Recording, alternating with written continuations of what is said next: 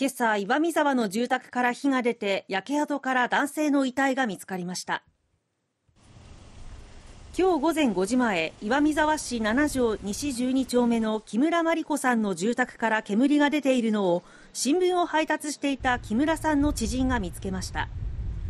知人は木村さんに電話で知らせ木村さんが119番通報しました。火はおよそ1時間後に消し止められましたが火元とみられる3階の部屋から男性の遺体が見つかりました。木村さんは逃げて無事です。木村さんは50代の息子と2人暮らしで火元とみられる部屋は息子の部屋でした。